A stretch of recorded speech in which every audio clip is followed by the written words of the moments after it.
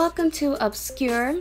Before we get started, to my empathetic people, I just want to say that it is important to protect your energy. So understand that nothing in this video is your situation. Listen, but don't absorb. We're just here to sip some tea. So, out in Tempe, Arizona on July 4th, five police officers was in Starbucks. They were getting coffee and a customer had told a barista that they didn't feel comfortable because the amount of police officers that was in the store and the the barista walked up to the police officers and um, asked them to leave. Five officers and a civilian service aide came to this Starbucks at McKellips and Scottsdale Roads for a quick coffee run, hanging out inside before the afternoon shift. That's when TOA President Robert Ferraro says a barista who even knew one of the officers made a polite request. There was a customer that was uh, felt unsafe because there were so many police officers inside the store. Um, and she asked them if they could move um, out of that customer's sight um, or, or go. All of this happening on July 4th. Ferraro says the officers listened and then left. Two of them were are veterans.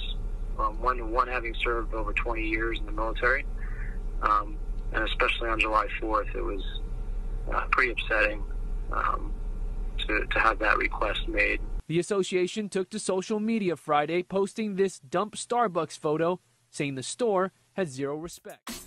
So as you can see, um, police officers were asked to leave from the Starbucks because the, one of the customers did not feel safe with the police officers in the store. Um, and even though like a lot of people are upset about this, um, I feel like we should value everyone's opinion. We should value everyone's feelings, you know. And if someone feel unsafe, then someone just feels unsafe. And I feel like instead of being offended by someone feeling unsafe or getting angry because someone felt unsafe, then um it need to start, you know, treating pe- people better. All police officers, you know, need to start treating people better because if everyone, I'm talking about everybody, was treated good, you know, everybody would feel safe, you know, like. I'm pretty sure five firefighters can come into the store and not one person would bat an eye, you know, because you don't see firefighters on TV hurting people, you know, but um with police officers, we do a lot. So we can't fault this person for feeling unsafe. Now, when it comes to the Starbucks barista, I don't know. I'm kind of iffy iffy about if she if he or she should have asked the police officers to leave or if she should have just or he should have just waited for them to leave on their own, you know.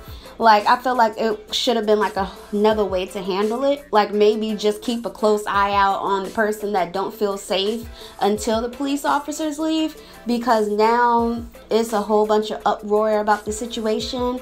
Um, Starbucks is investigating as we speak because they want to know more about what happened, what took place because you know they don't under they really don't understand.